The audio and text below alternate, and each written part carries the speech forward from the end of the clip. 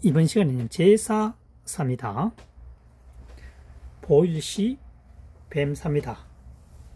뱀꼬리처럼 길게 늘어서서 제사를 올리고 있다. 제사 사자가 되겠습니다.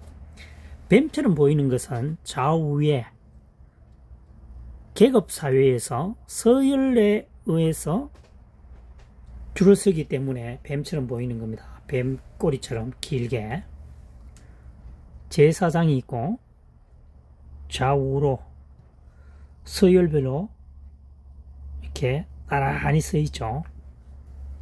서열이 낮은 사람이 서열 높은 쪽에 접근하지 못합니다. 했으니까 서열 1위, 서열 2위 이런 식으로 가, 되겠죠.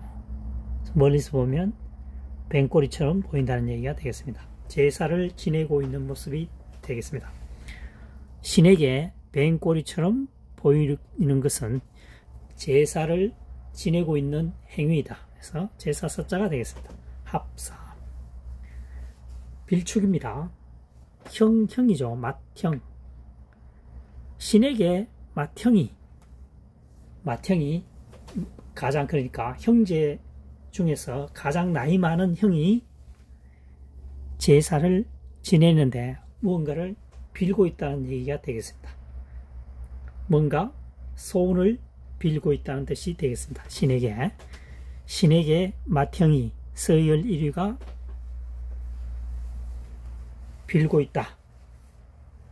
뭔가 바라오는 것을 기도하고 있다. 되겠습니다. 빌축이 되겠습니다. 축하, 빌축, 축하 하자죠. 축하.